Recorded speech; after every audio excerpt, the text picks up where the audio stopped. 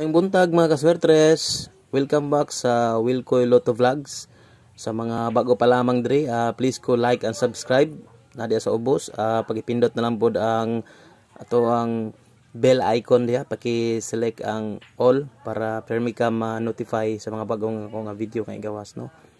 So kuan lang ni ako uh, guys kanang pahinumdum lang ni no. Ang uh, kininta nang gina-vlog lang ako ng numbers.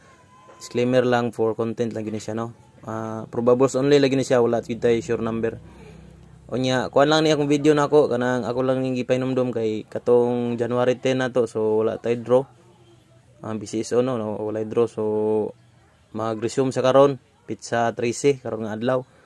So katong paki-check na lang back-check na lang katong last nga video nako gi-upload.